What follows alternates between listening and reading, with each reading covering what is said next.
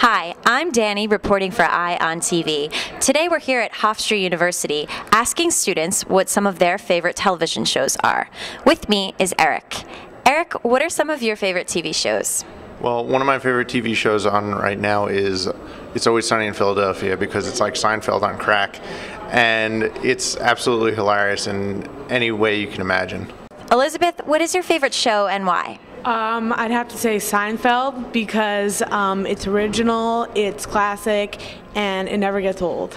Probably Six Feet Under, just because it takes uh, something that you wouldn't normally find comical and it finds the sort of dark humor in it. I like the Big Bang Theory because it has like nerd humor. It's not like any typical um, comedy show that is on right now.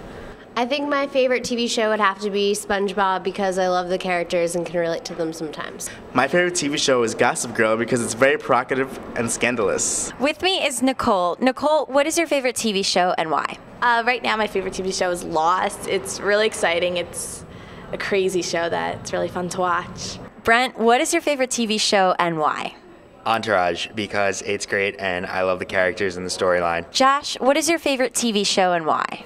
Um, I would have to say True Blood, just because it's new and it's kind of crazy when you follow up the whole story. It keeps you on edge every time the episode's over. Well, it looks like the students here at Hofstra University have a very diverse taste in television shows. I'm Dani, reporting for Eye on TV. Thanks for watching.